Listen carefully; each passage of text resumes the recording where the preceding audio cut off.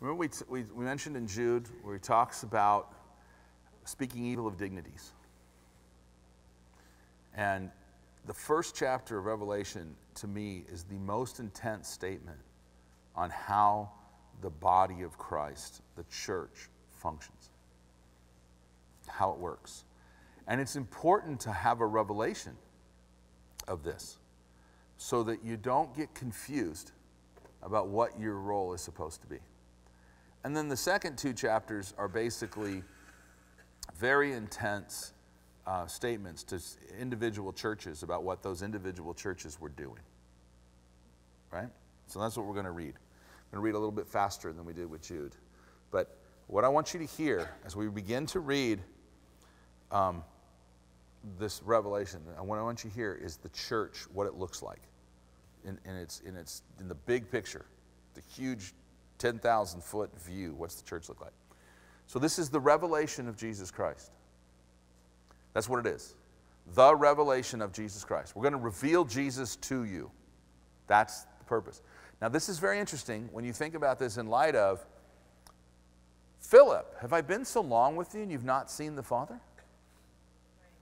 And so then people say, oh, Jesus was the Father. No, Jesus was the Son.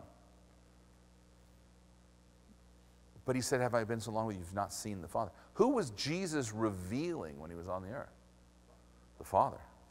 Everything you see Jesus do, you see his love, you see his compassion, you see his mercy, that's the Father. That's all of it. You know what this is? It's a revelation of Jesus. See, Jesus came, he didn't show himself, he showed the Father. Now we're going to get the revelation of Jesus. This is Jesus talking now.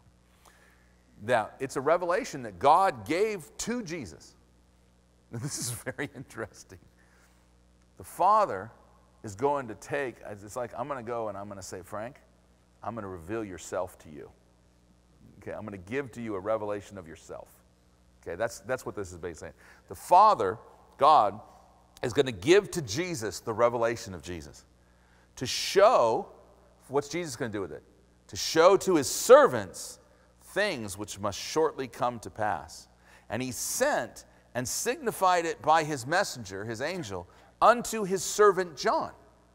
So Jesus receives from God the Father a revelation of Jesus, takes that revelation, and he reveals it to, to reveal it to his servants. Here's what he does he gives it to a messenger. The messenger takes it to John.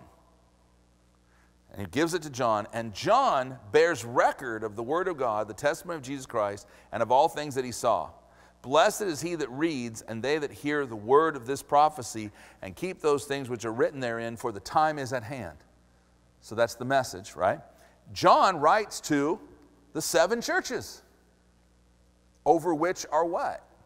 Pastors over those churches. So, what this clearly says is God gives the revelation to Jesus, who gives it to his angel, who delivers it to John, who takes it to the pastors of the seven churches to give it to the seven churches.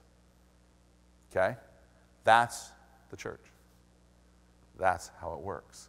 The body fitly framed together by that which every joint supplies, and the head is Jesus. Okay? In other words, this structure that God puts in place is extremely important.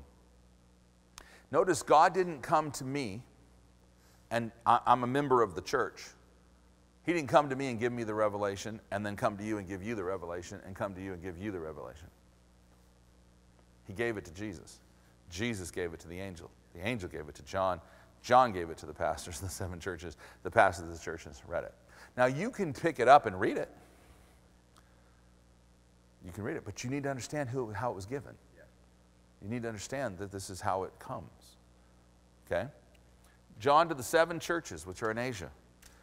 Grace be unto you and peace from him which is and which was, which is to come, and from the seven spirits which are before his throne, and from Jesus Christ, who is the faithful witness, and the first begotten of the dead, and the princes of the kings of the earth, unto him that loved us and washed us from our own sins in his own blood, and has made us kings and priests unto God and his Father. To him be glory and dominion forever and ever. Amen. Behold, he Who's he? Jesus.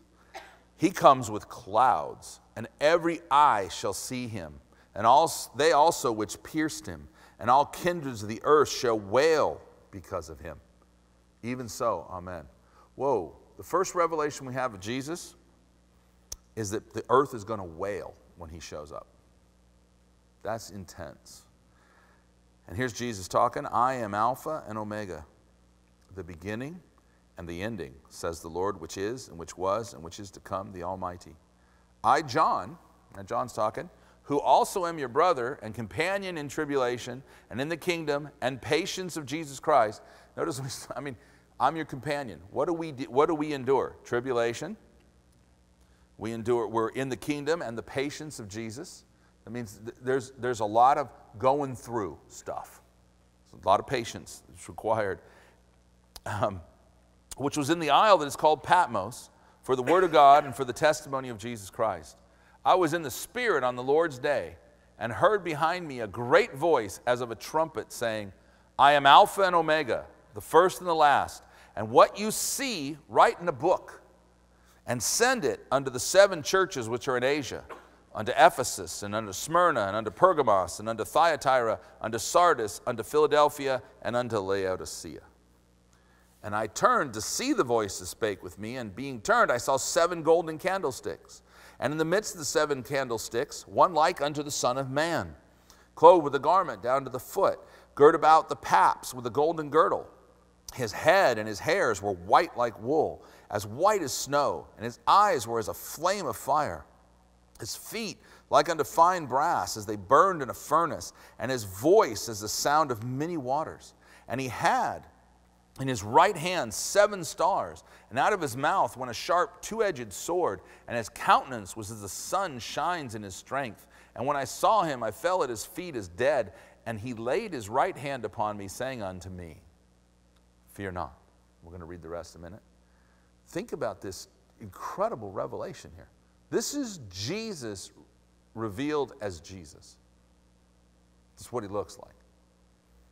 See, when you saw him as the Father, the lowly Lamb of Galilee, in a sense, you saw that. But this is Jesus.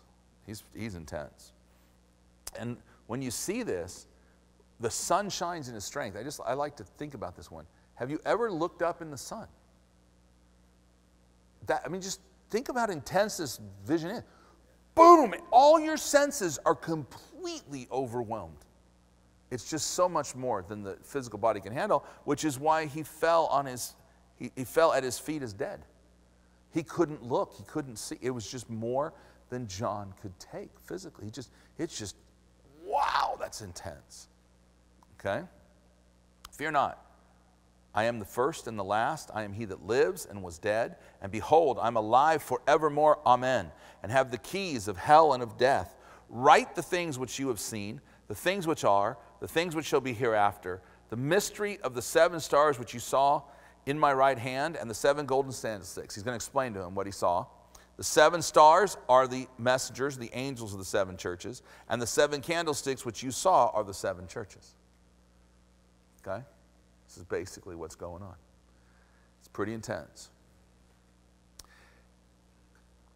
God is working through his church. Jesus is working through his church. The Spirit of God is given to work through the church. It doesn't work another way. Remember, we read in Jude and in 2 Peter. These are those that separate themselves, they're sensual, they don't have the Spirit. The Spirit brings you into the body, the Spirit uh, lines you up within the things that God is doing, puts you in place, and, and you, you fit within the body. Those that separate themselves, they're out wandering, doing their own thing, looking for some men to follow them. They're not doing what God told them to do. It's not, it's not it. This, this hierarchy is extremely important. So then comes his messages to each of these seven churches. Because when God gives a message, there's a message that's given to everybody as a whole. But sometimes there's a different message you need to receive than I need to receive. There's things that maybe you need to know that I don't need to know, or I need to be corrected about maybe I don't need, and things I need that you don't need. You know, this is why sometimes pastor preaches long. He's dealing with everything. he's dealing with everything. You know, he's, he's, he's getting at everything that's there, everything that he's seeing, everything God's showing him. He's dealing with everything. And so sometimes it takes a while to get around to everybody's need.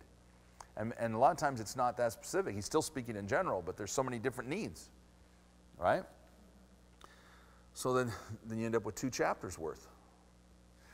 Unto the angel of the church of Ephesus write, These things says he that holds the seven stars in his right hand, who walks in the midst of the seven golden candlesticks. I know your works. Do you realize that Jesus knows what you do? He's not confused, he's not wondering. I know your works and your labor and your patience and how you cannot bear them which are evil and you have tried them which are say they're apostles and are not, and you've found them liars. You've borne and has patience for my name's sake. You've labored and you've not fainted. Nevertheless, I have somewhat against you because you have left your first love. Wow.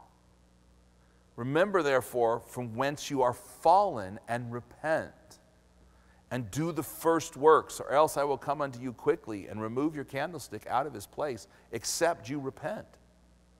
Then he says, and here's, here's one other bone for you. You, have, you also have this you hate the deeds of the Nicolaitans, which I also hate. He that has an ear to hear, let him hear what the Spirit says unto the churches. To him that overcomes will I give to eat of the tree of life, which is in the midst of the paradise of God. I just want to comment on the deeds of the Nicolaitans. I have read a lot of things about the deeds of the Nicolaitans there are old books that talk about, you know, they've compiled lots of stuff. I don't know that the scripture tells us who the Nicolaitans were, but history tells us many things about them. And let me just say that the, the best I've been able to understand that seems to be the oldest information about what this really was, it was a, basically a doctrine of absolute lascivious fornication allowable in the church. That, that's what God hated so much because it was a doctrine that allowed such to be within certain parameters. And no, we do not agree with that. No, we will not accept that. And God's very intense about it. So when you look at this, what's Ephesus' biggest thing? I mean, he's, he's commending them for a lot of stuff. Because a lot of times people, why are you picking on me? I've done all these good things. Look, Ephesus is full of good things. But I got something against you. You've left your first love. You've left your first love. Wow. What, but Lord, what does that mean? He says, Repent, do the first works. What's the first works? Lord, it's all about you. Lord, be merciful to me. Father, I thank you that you saved me when I was unsavable. One of the things that people have to guard against is pride. Lest being lifted up in pride, we begin to think that somehow we've attained to these things by our own great doing. And that's never the case. And when I have pride and I stand up and begin to think, I have built this wonderful thing, I have to be brought down. We have to stay in meekness and lowliness and brokenness before God all the time. Never allowing ourselves to say, I'm so good. I'm such a great whatever I do.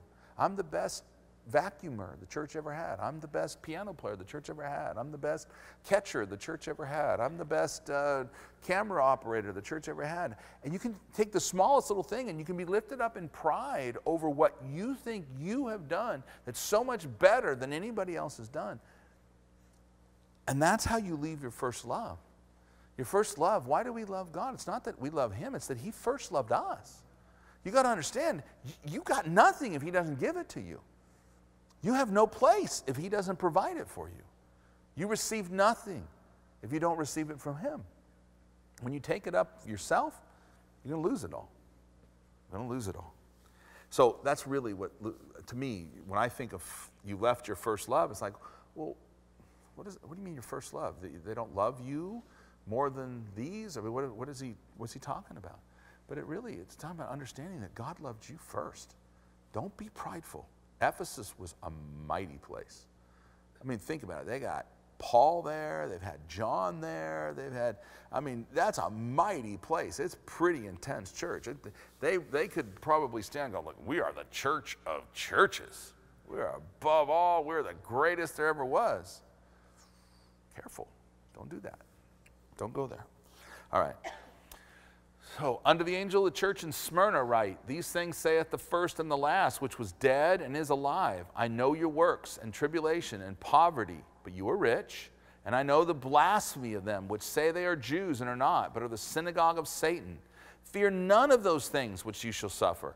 Behold, the devil shall cast some of you into prison, that you may be tried, and you shall have tribulation ten days. Be thou faithful unto death, and I will give thee a crown of life. He that hath an ear to hear, he that hath an ear, let him hear what the Spirit saith unto the churches. He that overcometh shall not be hurt of the second death. Smyrna, they got it all right, but he's warning them. There's going to come some tribulation. There's going to. I, I recognize what you're doing. I recognize how you're standing. There's going to be some tribulation. Don't faint. Don't faint. Stay. Stay. You're going to be fine. I'm going to take care of you.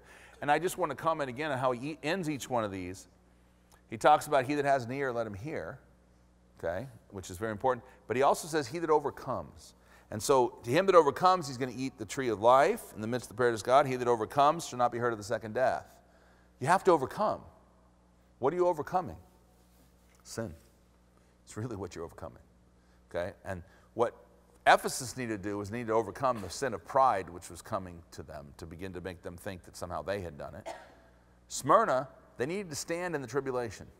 It was going to be a difficult time. You know how the, you know, Pastor Ruth was just preaching about the sower that went forth to sow and the seed that's in the ground it doesn't have a lot of purchase in the earth there's a lot of rocky soil and the tribulation comes the sun comes and burns it up you don't want to be those people you want to get, get down in there deep get the rocks out yeah.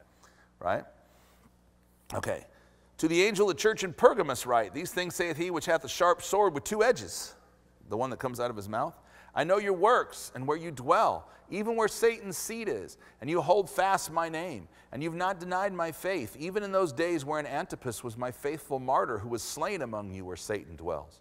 But I have a few things against you. They've done some good things, even had a guy get killed for the gospel here. I have a few things against you because you have there them that hold the doctrine of Balaam. This is kind of why we want to do this in reference to Jude who taught Balak to cast a stumbling block before the children of Israel, to eat things sacrificed unto idols, and to commit fornication. Because that's what Balak taught them to do. He sent a bunch of women down, loose women, who came down and got all the men into fornication, right? And then and had to sacrifice unto the idols of their, their false gods. And that's how they began, weren't blessed. You also have them that hold the doctrine of the Nicolaitans, which thing I hate. So it gets mentioned again. Repent, or else I will come unto you quickly and fight against you with the sword of my mouth. Wow. It's, it's intense.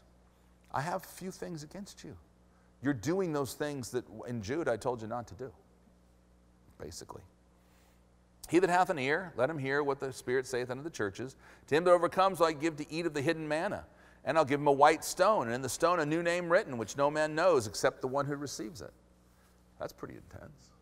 We can't say anything about that because if I got one of those stones, you wouldn't know anything about it. right? And unto the angel of the church in Thyatira write, These things saith the Son of God, who hath his eyes like unto a flame of fire, and his feet are like fine brass. I know your works, and charity, and service, and faith, and your patience, and your works, and the last to be more than the first. Notice he did works twice. He said, You did works, and now you've done even more works. Notwithstanding, I have a few things against you. You suffer that woman Jezebel, who calls herself a prophetess, to teach and to seduce my servants to commit fornication and eat things sacrificed unto idols. Is this all sounding familiar? And I gave her space to repent of her fornication, and she did not repent. Wow. Behold, I will cast her into a bed, and them that commit adultery with her into great tribulation, except they repent of their deeds. And I will kill her children with death, and all the churches shall know that I am he which searches the reins and hearts, and I will give unto every one of you according to your works.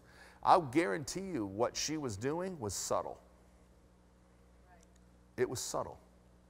And it certainly probably began subtly.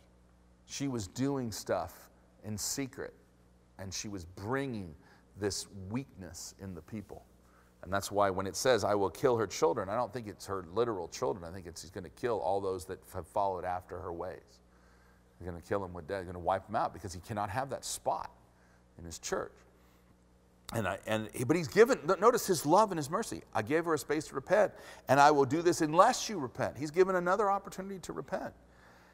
Um, and I'll give every one of you according to your works. He finishes verse 23.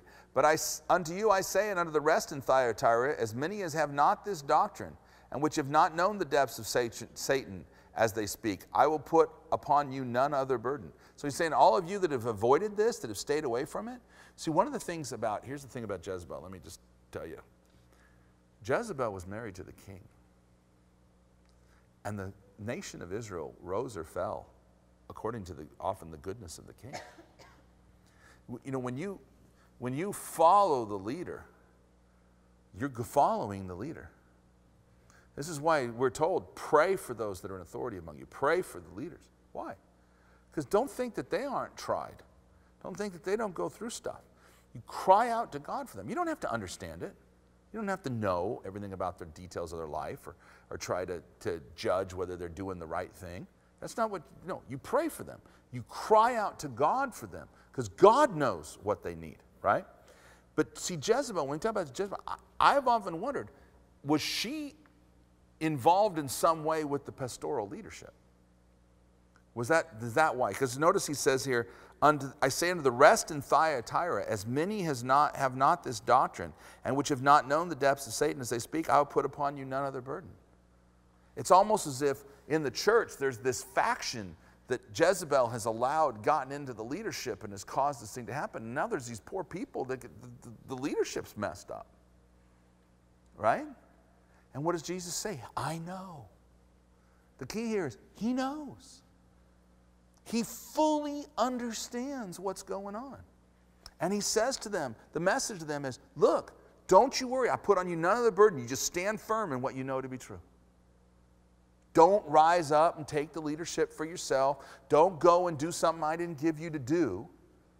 Just stand firm because he's telling them, I'm going to deal with that thing and I'm going to destroy that thing. And he's not happy about that.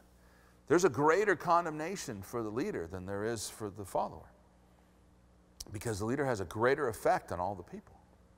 I mean, we've seen this in the church throughout history. It's a terrible thing when somebody who's carrying a great anointing, who's carrying a great uh, uh, movement across the earth, and suddenly they fall publicly, and it's a horrible thing. And the fallout is just tremendous. It's an awful thing. This is why we have to pray for everybody like that just earnestly begin to cry out to God, Father, use me to pray for those people that you've got crisscrossing the earth, those people you've got going out preaching. Father, I pray for them, bless them, encourage them, keep them. But don't be afraid to do it God's way. Because he knows when you're the one, the little old lady in the church who knows that everything is wrong, who's crying out to God, Father, have mercy upon us. He knows you. He knows who you are. And he has not forgotten. Hold fast until I come, verse 25. He that overcomes and keeps my works unto the end, to him will I give power over the nations, and he will rule them which with a rod of iron. As the vessels of a potter shall they be broken to shivers, even as I received of my Father. And I will give him the morning star. And he that hath an ear, let him hear what the Spirit saith unto the churches. Whew. Intense stuff. Chapter 3, verse 1. Unto the angel of the church in Sardis write, These things saith he that has the seven spirits of God and the seven stars. I know your works, that thou hast a name, that you live and art dead. Be watchful and strengthen the things which remain, that are ready to die, for I have not found thy works perfect before God. Just think about the sentence structure here. I know your works, you have a name, you know, I guess my, my name's written down in glory. I, have got a name before God. I mean, I, I'm, I'm, I'm, God knows who I am. And you live, and you're dead. What, what does that mean? Because then he says, Be watchful and strengthen the things which remain that are ready to die. There's, there's what's happening here is because he goes after them and says, I've not found your works perfect before God. He's telling them, Look, I know that you came into the blessing. I know that you received the heavenly gift. I know that you've been blessed in glory. I know that you've been made alive. But your works are not perfect before me. You, there's things ready to die. There's things you're, you're not doing well. Let's put it that way. Be watchful. Strengthen the things which remain that are ready to die. for I have not found your works perfect before God. Remember, therefore, how thou hast received and heard, and hold fast and repent. If therefore you shall not watch, I will come upon you as a thief, and you shall not know what hour I will come upon you. Now, Raphael, in light of your question at the beginning of the whole meeting, you brought up this thief in the night thing that's in Peter. And I told you the thief in the night is not the catching away. This will help make you very clear. When he comes as a thief, it is not a good thing. He doesn't come as a thief to snatch the church out of the jaws of death. He comes as a thief to bring destruction upon the sinner. Is there a catching way? Absolutely. And I told you where you could find more information on that. But this, what he's saying, I'll come, therefore, if you do not watch, if you do not repent, I will come as you as a thief. Scripture also says, that day will not overtake you as a thief because you walk in the Spirit. Okay? And you'll not know what hour I will come upon you. You have a few names in Sardis which have not defiled their garments, and they shall walk with me in white, for they are worthy. You have a few. There's a few. I mean, this place is a mess. It's like we were talking about, it's the one little old lady in the corner who's still got to walk with God, and everybody else is just who knows what they're doing. It's, it's a bad situation. But he that overcomes, the same shall be clothed in white raiment, and I will not blot out his name out of the book of life, but I will confess his name before my Father and before his angels. He that hath an ear, let him hear what the Spirit saith unto the churches. So you're seeing almost each one of these, when we talk about what they're doing wrong, we can find reference in 2 Peter 2 and in Jude about what they were doing. Some of them more explicitly, some of them less so. To the angel in the church of Philadelphia, write, These things says he that is holy, he that is true, he that hath the key of David, he that opens and no man shuts, and shuts and no man opens. I know your works. Behold, I've set before thee an open door, and no man can shut it. For you have a little strength You've kept my word. You've not denied my name. Behold, I will make them of the synagogue of Satan, which say they are Jews and are not, but do lie. Behold, I will make them to come and worship before thy feet, and to know that I have loved you. Because thou hast kept the word of my patience, I also will keep thee from the hour of temptation, which shall come upon all the world, to try them that dwell upon the earth. Behold, I come quickly. Hold that fast which you have, that no man take thy crown. Him that overcomes will I make a pillar in the temple of my God, and he shall go no more out. And I will write upon him the name of my God, and the name of the city of my God, which is New Jerusalem, which comes down out of heaven from my God, and I will write upon him my new name. He that has an ear, let him hear what the Spirit saith unto the churches. So that, that church doing pretty well. But notice he talks about them. See, Ephesus was filled with all this great swelling stuff. Philadelphia here, they're, they're, doing, they're doing some good things but it's not as prominent. They weren't lifted up in the same pride. And he's saying to them, you know, you're doing good. You're doing good. Hang in there.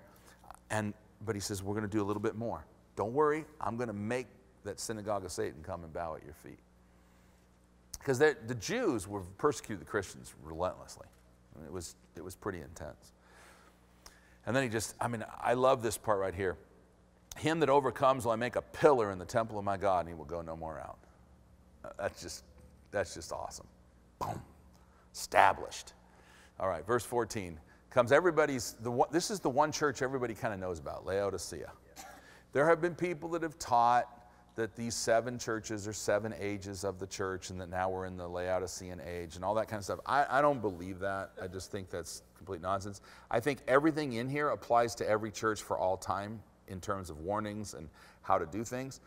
Um, and these were seven literal churches with seven literal leaderships, with seven literal different um, experiences in God and things that they needed to do, right?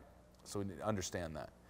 Um, these churches um, are not representative of anything other than who they are, but they are um, representative of the church throughout time as a whole in the sense that every one of the problems they deal with, just like every one of the problems that Jude talks about, every one of the problems St. Peter talks about, they can happen in any place at any time. You know, if we had a, some lascivious woman come in and join herself under the leadership and start undermining, we'd have the same problem that that church had where they had a Jezebel in the church. You know, and we're just, thank God we don't have that. Then we're not going to have that.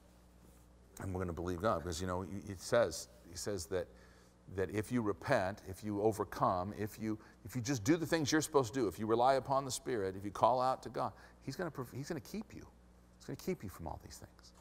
We don't have to accept, well, there's going to come a day where we're going to have to go through the period of where we have a Jezebel. No, there doesn't ever have to be that day.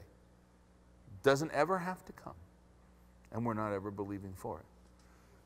But thankfully, He gave a place. He said, if you repent, if you repent, I'll restore. Oh, it's amazing. All right, under the angel of the church of Laodiceans, write These things says the Amen, the faithful and true witness, the beginning of the creation of God.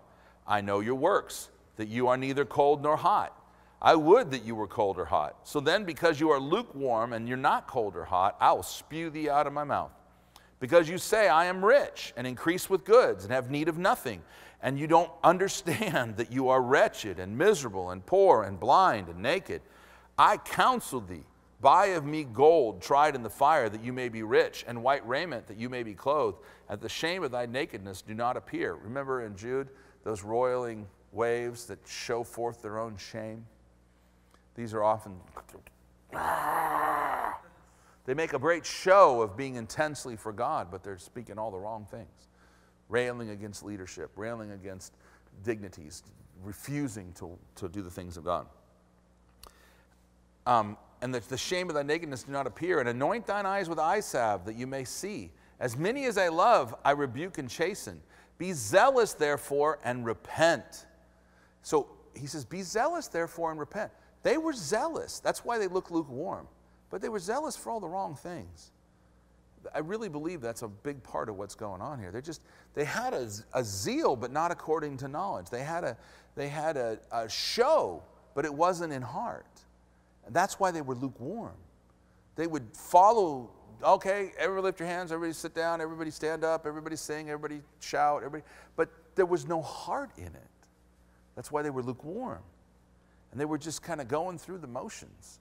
And that's what he's dealing with here. He says, You don't realize how naked you are, how, how unclothed, and how, how terribly your state is. And he deals with them on that basis. So be zealous, therefore, be zealous, and repent. Cry out to God that he would ask of me gold tried in the fire. Lord, Father, I need you. I'm so hungry for you. And this is what's so great around here. You got people just so hungry. They'll come to prayer. They'll come to meetings like this. They'll come to everything. They'll go flyering. They'll go do whatever. They're just hungry for God. But they're crying out, saying, Father, I need you. They're not doing it to be a show. We're not doing it for any other purpose. Then we're just hungry for God. Just hungry for God. We're hot after Him. We're passionate about the things of God. This is what we need to be. As many as I love, verse 19, I rebuke and chasten. Always remember that. Be zealous, therefore, and repent. Behold, I stand at the door and knock. If any man hear my voice and open the door, I will come in into him and will sup with him, and he with me. As much as he's standing outside your life, pounding on the door, that's a bad state to be in. But you know what? All you have to do is open the door, he'll come in. It's that simple. It's that easy. To him that overcomes will I grant to sit with me in my throne, even as I also overcame and have sat down with my Father in his throne. He that has an ear to hear what the Spirit says let, he that has an ear, let him hear what the Spirit says unto the churches. So, Jude speaks to us of the church and what we need to avoid, what we need to do. And we love that last five verses. The one we emphasize praying in the Holy Ghost. Got to be in the Spirit, not in the flesh, not in your natural mind, all of that. Second Peter gives us the same story. These give us the same story. If somebody can read these things and come to the conclusion that the church's natural state is to live in sin, they're completely confused. I, I, don't know what to do for them because it makes it very clear that you're supposed to overcome these things. There should be no fornication. There should be no lasciviousness. There should be no prideful lifting up. There should be no divisions. There should be no fightings and wars. There shouldn't be these things. And God's very merciful. And people say, well, God understands. Yeah, I, you could argue that in a sense, He does understand that there is no way for you to do it on your own. And there is nothing about you that He would want to have in His kingdom when you're doing those things. But He also understands that in His great mercy and love, He's given you a way out. He said, Repent, lest I have to come and destroy you. That's the part people forget. He wants, you're going to be destroyed. Yes, there's a space. I gave her a space to repent. Uh, of all these things you think about as, as I painted the Jezebel thing, that's as bad as it could get in my mind. I mean, it's pretty horrible. Laodicea is pretty bad too, but it's as bad as it could get. And yet he said, I gave her a space to repent, and now you can still repent. I mean, God is so merciful to us that he's so long suffering. But there's going to come a point where he says, if you lest you repent quickly, I will come and destroy you. And we need to understand that. And we need to tell people about that. It's called repent. Repentance is the greatest power we got. So, does anybody have any questions about any of these that came up? Something you didn't understand? I mean, I went through them pretty fast. You can read them yourself. I think they're great to read over and over. They're one of the great messages that's clearly given to churches about how to overcome, what to overcome, what to repent of. They're, they're fantastic things. Beautiful. Uh, but I do want to make reference then. Nobody's jumping up to ask questions. I want to make reference to the fact that, as we read, he says, Write the things that you've seen. That was the revelation of Jesus physically, his body, the revelation of the church as Jesus was the head of it. Write those things, write the things which are, and we just finished reading those the things which are the things of the churches and all the things that the, you know, what goes on in the church. How does the church function? As we read in Jude, as we read in Peter, how does the church function? Are there things going on that aren't right? Yes, that's why they need to be corrected. That's why correction comes. That's why Timothy is told you got to rebuke clearly. You got to make it absolutely certain that people will learn to fear. We got to do these things, right? That rebuking and correcting is important. God understands that we're growing as children and we have to grow up and we have to learn to mature. We gotta learn to do what's right. And sometimes we get deceived because we don't know and we do the wrong thing. And, and then we gotta be willing to be corrected. We gotta be humble. We gotta be broken before God to allow this to happen. God wants to do it. It doesn't have to be a slow process, it, it doesn't have to be. But if need be, God will send tribulation, as we read. He'll send tribulation to correct us. Why? Because He loves us so much. He doesn't want to see you cast out, He wants you to stay in. He wants you to be a pillar in the temple of His God. Boom, stuck there, unmovable, an important part of the structure of everything that God is doing. That's what He wants to do. And then He says to write the things which shall be hereafter. And what will happen in chapter 4 I look and behold a door open in heaven, and the first voice which I heard was as it were of a trumpet talk with me, which said, Come up hither, and I will show thee things which must be hereafter. So those are the things to come. And we're not going to talk about those today. We don't have time. Um, we've done it before in this church a number of times. We may do it again. Talk about Revelation. First one of these I did, I did Daniel and that sets you up for Revelation. If you weren't here for Daniel, you might want to go look at Daniel. It's, it is on the YouTube and sort of look at it. Um, and it prepares you, and maybe one of these days we'll do Revelation if we feel like that's what the Lord would have us do. Um, but I just wanted you to get the picture here in Revelation because we're only doing, it's like, why are we only doing the first four chapters? Because we're only talking about the first two things. The things that shall be hereafter, we have to talk about another day. It's a bigger deal. So, Father, in Jesus' name, Lord, I thank you that you've loved us so much, that you've loved this people with an everlasting love. Lord, that you've called us in our weakness, you called us in our sin, you called us in, in just the despite of our own lives, and you brought us into your glory. And you made us a new creation, and you cut off the body of the sins of the flesh, and you cast it away from us and you've given us a heart, a new heart, a heart that will receive from you, not a heart of stone, but a heart that was that is open unto you.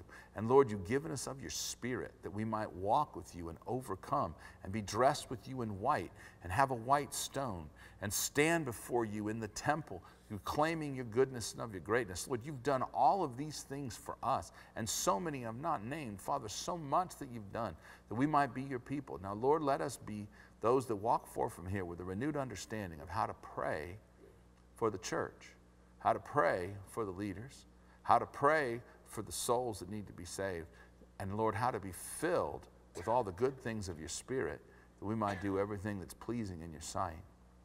In Jesus' name, amen. Hallelujah.